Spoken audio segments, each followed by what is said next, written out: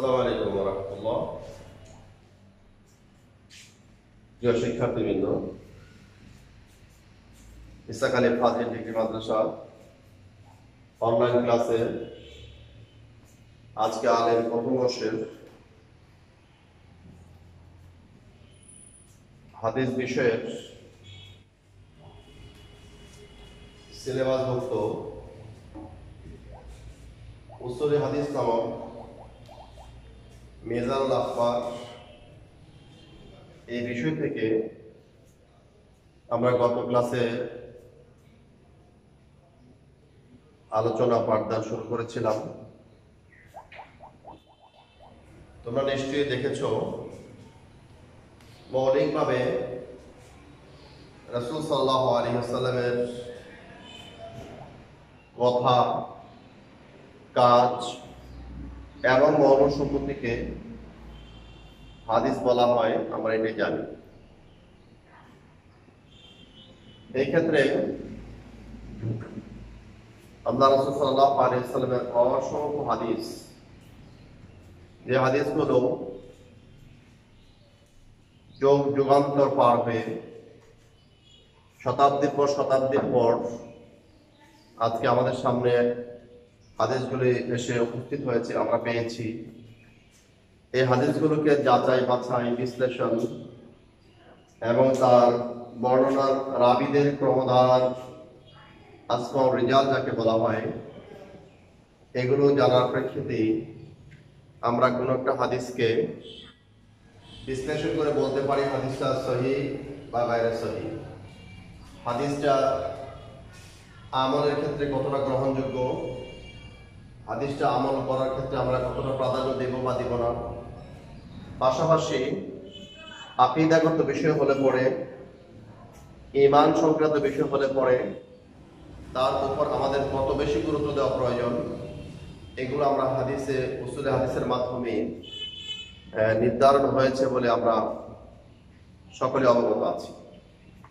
সুতরাং প্রিয় শিক্ষার্থীবৃন্দ, আমরা গত ক্লাসে আলোচনা করেছিলাম হাদিসকে মৌলিকভাবে তিনটি ভাগে বিভক্ত করা হয়েছে। একটা হচ্ছে মারফু, দ্বিতীয় হচ্ছে মাহবুফ তৃতীয় হচ্ছে মাপ্ত হাদিসে মারফু আমরা জেনেছিলাম যে হাদিসের সালাদের ধারাবাহিকতা ইলান নবী ওয়াসাল্লাম পর্যন্ত পৌঁছেছে। তাকে আমরা হাদিসে মারফু হিসাবে সংজ্ঞায়িত করেছি এবং জানি।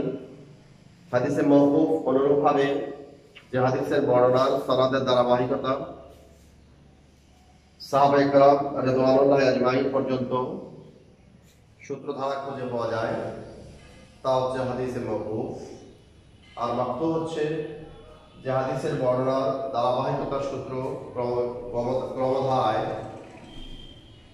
আত্মাবি তথা রসুল সাল্লাহ সাহাবিদেরকে, যিনারা ইমান সহ দেখেছেন ওনারা হচ্ছে তাবেই এই তাবি পর্যন্ত পৌঁছেছে এই হাদিসের সালাদের ধারাবাহিকতা, পূর্ণ হাদিসকে বলা হয় হাদিসে মাত্র সুতরাং এরই ধারাবাহিকতায় হাদিসকে আরেকটা মৌলিকভাবে তিন ভাগে বিভক্ত করা হয়েছে। এই হাদিসগুলো তিন ভাগে বিভক্তের মধ্যে রয়েছে, কাউলুন নবী সাল্লাহ আলী ওসাল্লাম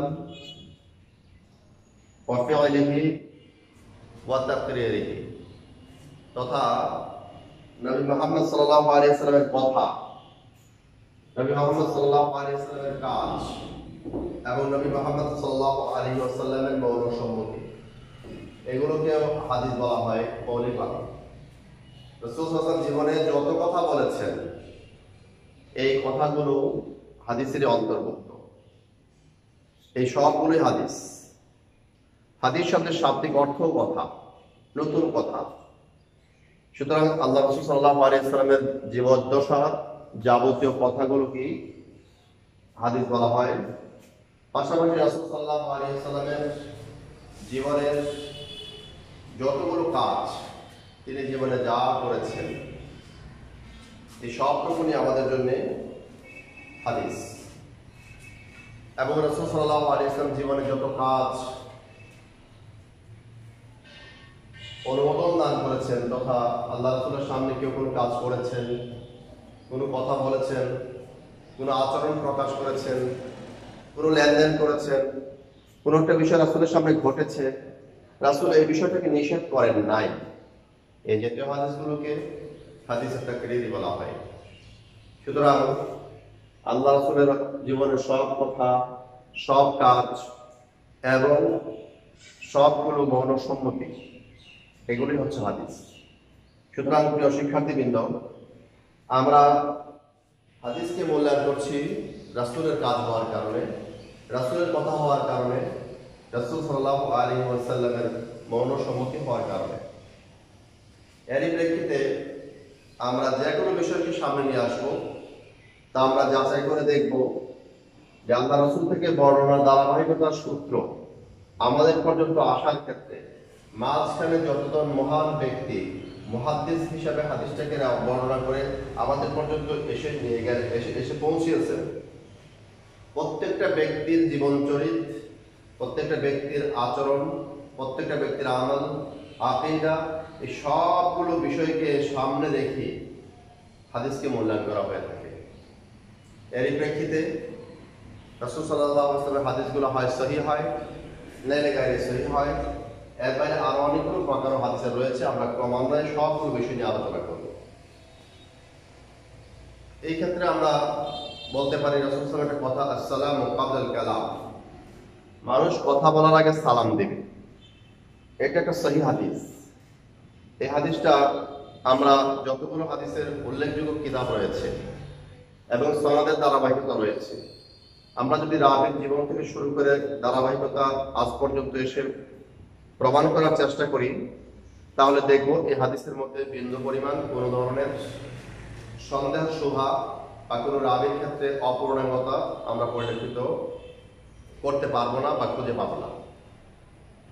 সুতরাং এত নির্ভর এবং নির্ভরযোগ্য এবং বিশুদ্ধ একটা হাদিসকেও আজকের জমানার কোনো ব্যক্তি অর্থাৎ কোনো মানুষ যদি এই হাদিসটাকে ব্যঙ্গ করে, অর্থাৎ সালামকে তারা অন্যান্য কোনো দিক থেকে রূপায়িত করতে চায়, অথবা এইটা বিশুদ্ধ হাদিসকে মানে বাতিল করার জন্য বা এই বিশুদ্ধ হাদিসকে সন্দেহের মধ্যে ফেলে দেওয়ার জন্য কোনো মানুষ শিক্ষাবিদ হোক আর শিক্ষক হোক আর যে কোনো শ্রেণি ভাষার মানুষই হোক করতে শুরু করে, তাহলে এটাকে নিঃসন্দেহে আমরা হাদিসের সাথে ওই ব্যক্তির বিদ্বেষপূর্ণ আচরণই প্রমাণ করি।